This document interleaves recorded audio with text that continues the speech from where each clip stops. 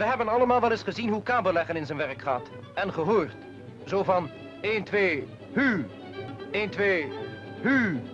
Een ploeg van 10 man legt per dag ongeveer 1 kilometer. Graven en dichtmaken van de sleuven inbegrepen. Maar het kan tegenwoordig vlugger. En het gebeurt zoal in de Noordoostpolder. Een kampenaar heeft namelijk een mechanische kabellegger ontworpen... welke door een Nederlandse machinefabriek is geconstrueerd.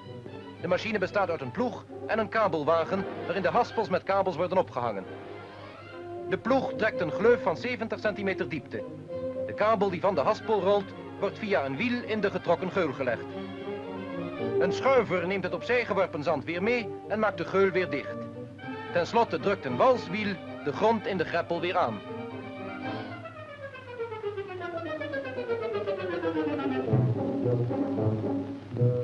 Met deze machine, die alleen gebruikt kan worden langs open wegen, dus in de bermen van een weg en niet in de straten, kunnen 6 à 7 man 5 kilometer kabel per dag leggen.